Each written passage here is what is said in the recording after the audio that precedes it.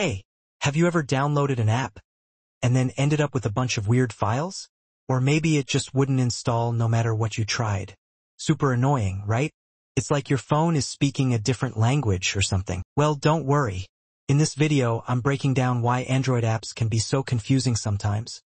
And more importantly, how you can always pick the right version for your phone. Let's dive in. So, first things first, let's talk about your phone's brain. That's your processor. And just like there are different types of brains, there are different types of processors. If your phone is older, like from before 2015, it probably has a 32-bit ARM processor. In that case, you'll need apps made for armeabi-v7a. But if you've got a newer phone, chances are it's rocking a 64-bit ARM processor, which uses ARM64V8 apps. Now, there are also some tablets or older Android computers that use Intel processors. Those need apps labeled x86 or x86 underscore 64. Here's the thing. If you grab the wrong version, the app either won't install or you'll get errors like app not installed or incompatible architecture. It's kind of like trying to shove a DVD into a Blu-ray player. Just not going to happen. Alright, now let's talk about how sharp your screen looks. That's your screen's DPI. DPI stands for dots per inch, but you don't need to get technical. It basically controls how big or sharp stuff looks on your screen. You'll see numbers like 160, 320, or 480 dpi. If the DPI setting doesn't match your screen, the app might still work.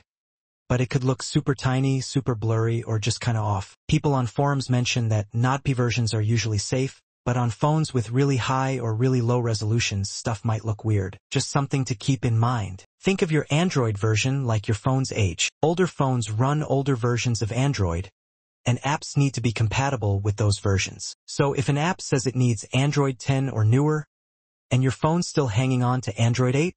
Yeah, it probably won't install. Or if it does, it might be buggy or crash all the time. Some people on forums say they've managed to install newer apps on older phones using APK files.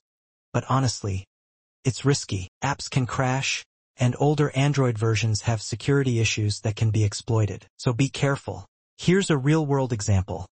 Say you've got an old Samsung from 2014. It's most likely running on armeabi-v7a and an older version of Android, so you'd need to look for apps that work with that setup. But if you've got something like a new Google Pixel, it's using ARM64V8A and the latest Android version. You'd want apps made for that. By the way, people on forums recommend apps like CPU-Z to check your processor type and Device Info HW to find out your screen's DPI. Super handy if you're not sure what your phone specs are. Asterisk, so what happens if you mess it up?